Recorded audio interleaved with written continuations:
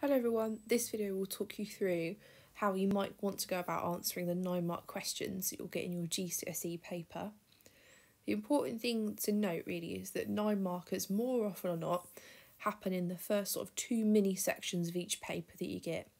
So on paper 1 you're likely to get a 9 marker in the hazards unit and in the ecosystem section and on paper 2 you're likely to get a 9 marker in urban issues and changing economic world and in paper three, you're highly likely to get a nine marker about fieldwork in your issue evaluation. Now, that's not to say that you won't get them anywhere else in your papers. However, those are the most common places you're likely to find them. So, a nine mark question can sound and quite feel a bit daunting, okay? Um, but really, when you break them down, they're quite nice and simple and they always follow a similar sort of structure in terms of marking.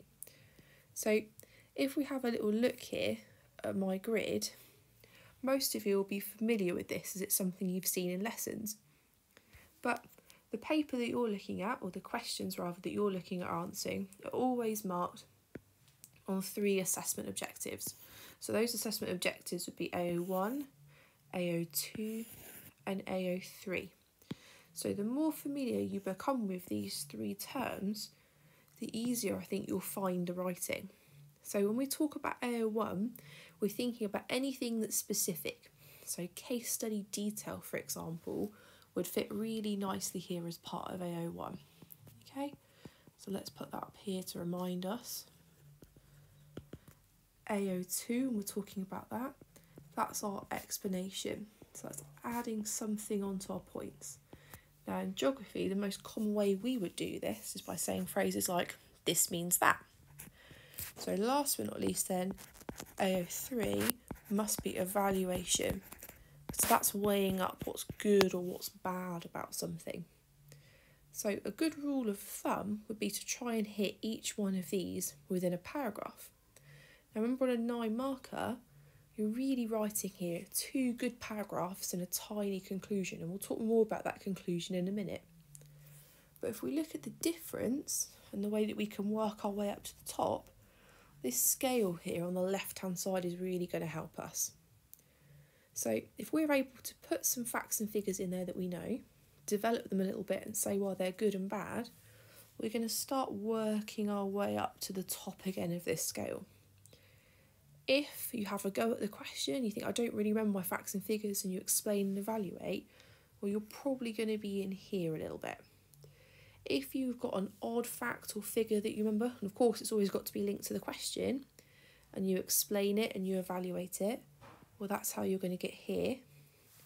And if you consistently, that means throughout your answer, have got case study detail, you're really making solid points, you're explaining well, and you're evaluating. Remember, evaluation is both sides of the argument, isn't it? Positive and negative.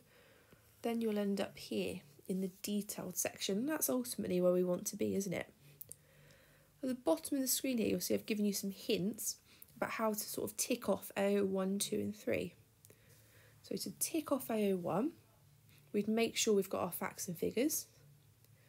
We talk about our examples and we'd use subject specific terminology. Okay, that's a really fancy way of saying key words. Okay, it doesn't always have to be the biggest word, but we're after the geography words linked to the question. AO2, well, that's where we're explaining everything that we've just said over here in AO1. Okay, so backing it up, developing it. We would quite often do that in geography, as we said earlier, with that phrase, this means that. Okay, it's like the because of geography. This means that there really is no end. Okay, bonus points always goes for how many times you can use that in your answer. And then AO3, well, that's our evaluation. So if it says we're using the figure, check back, have you used the figure? And last but not least, this perhaps here is the most important point. It's making sure you've got that overall judgment, okay? That normally comes in the form of a conclusion. When I think about a conclusion on a nine marker, I'm not thinking about a massive paragraph. I'm thinking about a small couple of sentences at the end that round off or finish the answer that we've got. Quite often, the way that you'll access 9 out of 9 is by making sure you've got that overall judgment at the end. So by not having your conclusion, you do limit yourself in the end with your answer. So if we recap them before we finish, a little secret guide for a nine marker is to make sure you've got your points, your line of argument, back it up with case study detail, explain it, and then say why it's good or bad. That would be my structure for a nine marker, and I would do that for two paragraphs. As always, if you're unsure about this or you've got some more questions that follow on from it, please go and ask your geography teacher. But I hope this helps talk you through nine markers.